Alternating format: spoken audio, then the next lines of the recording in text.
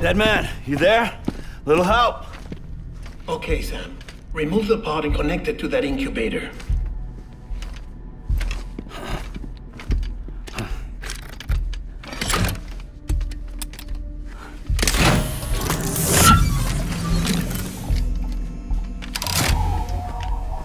It's in.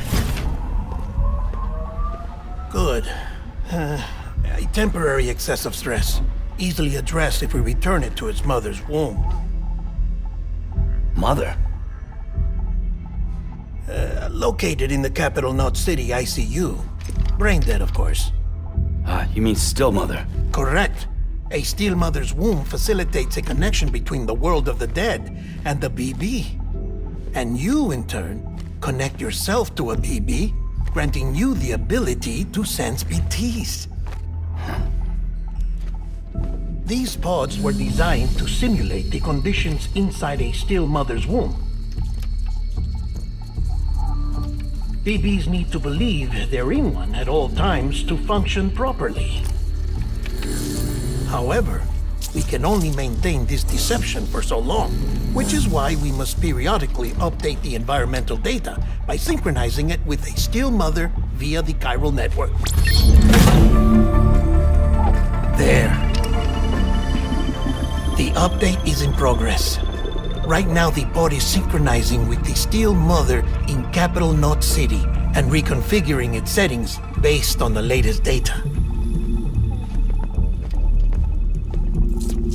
Returning your BB to the womb in this manner will temporarily reduce its stress levels. That being where it technically belongs, of course. Kid looks happy. I'll try adjusting the oxytocin dosage. Autotoxemia should set in much slower from now on.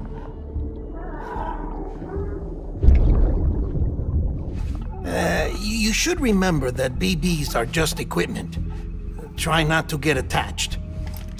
Each one has been physically removed from its still mother's womb. A process that renders them unpredictable and prone to failure. No BB on record has remained in service for over a year. Uh, it may need to be retired before this expedition is over. And then? You saying there's no way to keep my BB alive?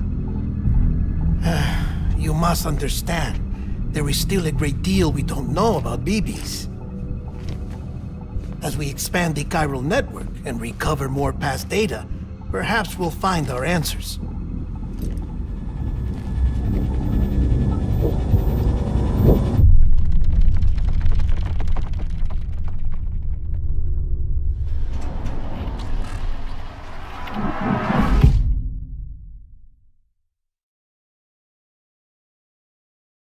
Station.